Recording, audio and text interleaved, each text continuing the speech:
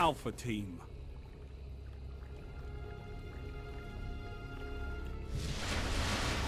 Stick together, team.